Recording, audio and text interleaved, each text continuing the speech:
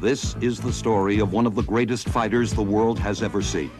For 12 years, this powerful right and left combination crushed challengers like no other heavyweight champion in boxing's history. As time goes on, many will claim to be the greatest heavyweights of all time. Yet no one will ever command the worship of a race and an entire country like the man they used to call the Brown Bomber. This is the story of one of boxing's best, Joe Louis.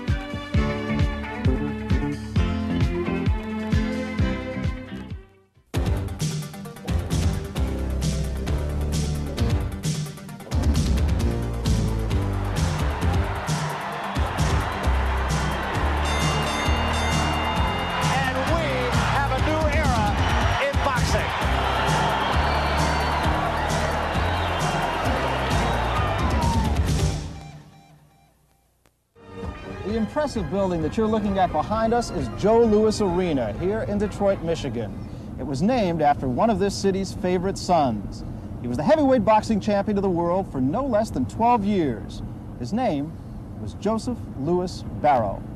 You know, life was never easy for Joe Louis, even when he was heavyweight boxing champion of the world. He was born in Alabama, but he came north here to Detroit in 1926 with his mother, his stepfather, and seven brothers and sisters. Joe's real father, Monroe Barrow, was confined to the Searcy Hospital for the Negro Insane in Mount Vernon, Alabama. That happened when Joe Louis was just two years old. He started fighting at Brewster's Gym here in Detroit, a place that we're going to be visiting a little bit later, for a fellow by the name of Atler Ellis. Billy Conn, you were the light heavyweight champion of the world. You climbed into the ring with Joe Louis on no less than two occasions, but I'll bet you would have loved to have had him in his very first fight as an amateur.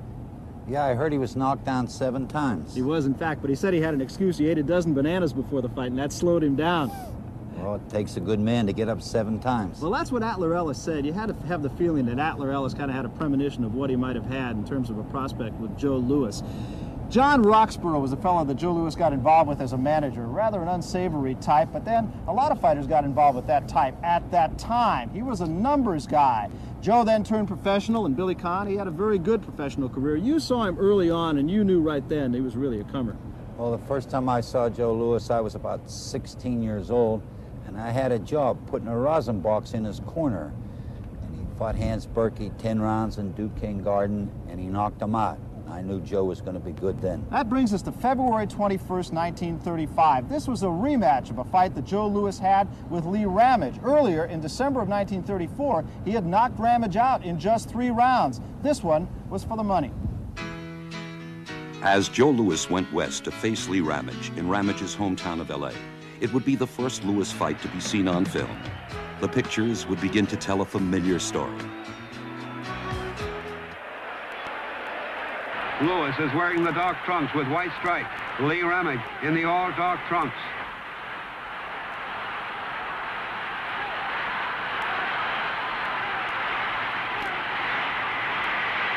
A crashing right by Louis, and Ramage goes down. The ring-wise Ramage takes a count of nine.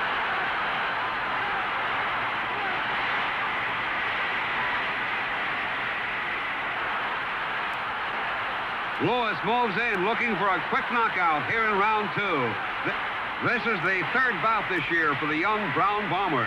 Joe has won all 14 of his fights since turning professional just 10 months ago. 11 of those 14 wins were clean knockouts. Joe Louis, as you can see, was all business. There was a no-nonsense attitude at all times in the ring. No wasted effort. A tremendous left hook by Louis, and Ramage goes down.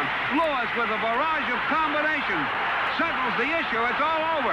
Joe Louis scores a devastating second-round knockout over young Lee Ramage. I'm satisfied you're going to be the next heavyweight champion of the world. I hope so. Well, Joe, as your manager, I'm going to do everything possible to get you a chance to fight for the championship. Thank you. Seven months later, Joe Louis married Marva Trotter at 7.45 p.m. on September 24, 1935 in Harlem. At 8 o'clock, he was on his way to Yankee Stadium to take on Max Baer. Joe tries to hold on, but Maxie bores in. Now Louis starts throwing leather himself. Now it's Baer who's in trouble. Baer is trying to cover up. Joe's looking for a spot to hit for a quick knockout. Baer still caught in that corner. He's got his left on Joe's head, trying to hold him off. By the third round, Louis has the fight completely in control. And though Baer is always dangerous, Louis is out-timing him. The Brown Bombers got Baer by the ropes again. A straight right, and Maxie crumbles to the canvas. Baer is trying to beat Louis so he can get a rematch with Jim Braddock.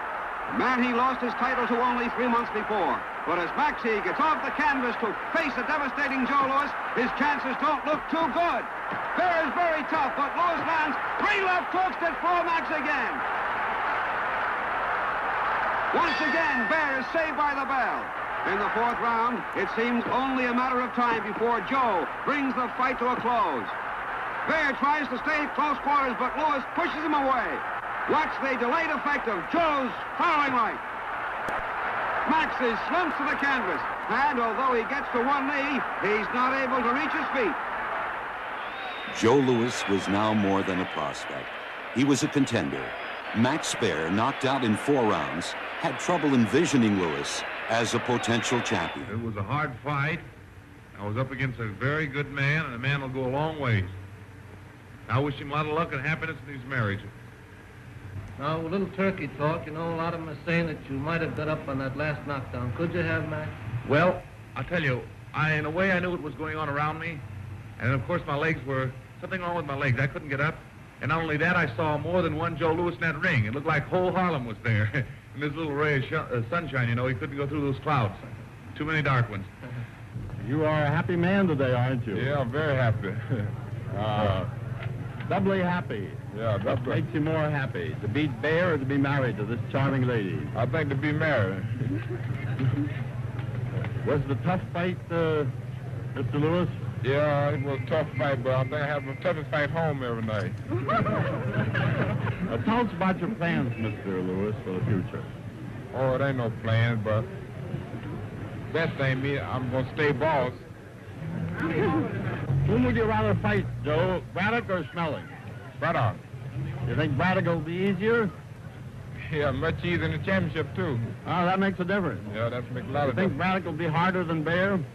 Uh, no. Can't be much harder than Bell. Mrs. Louis, what did you think of your husband? I thought he was grand. Well, you didn't expect him to lose, did you? No. You knew it was all, all the time. Yeah. How about a nice big kiss to finish it? Yeah. That won't happen.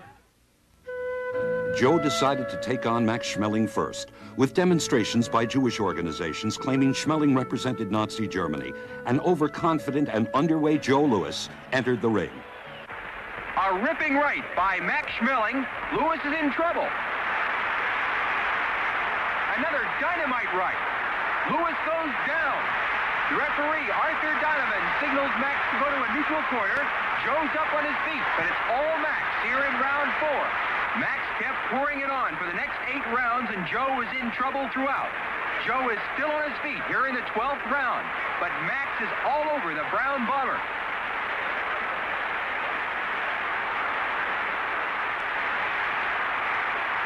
A ripping right to the jaw by Max Schmeling.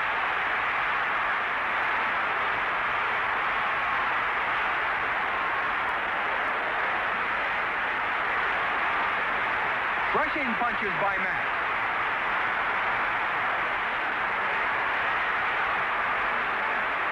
Joe is in desperate trouble here in the 12th. A dynamite right and Louis goes down. Max Schmeling puts a temporary halt to the meteoric rise of the Brown Bomber Joe Louis. So the almighty Joe Louis was stopped.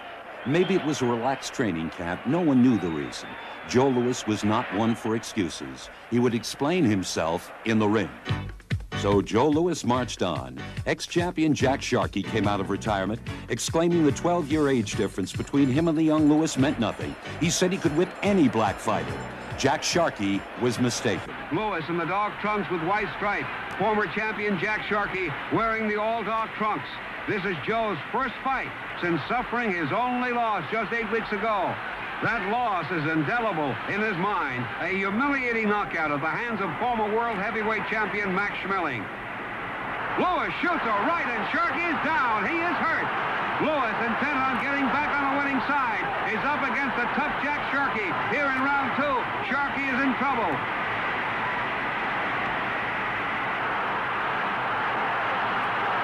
Sharkey tries to tie Louis up. Another barrage of punches, and Sharkey goes down again.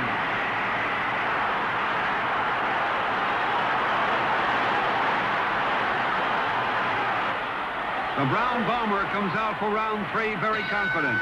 As a professional, Joe has had 28 fights, winning 27, 23 by knockouts. Blistering punches by Joe Louis. Lethal left jab and hooks and rights to the body. A right and Sharkey goes down. Devastating combination punches tell the story. Can Sharkey weather this storm? He's up with the count of six.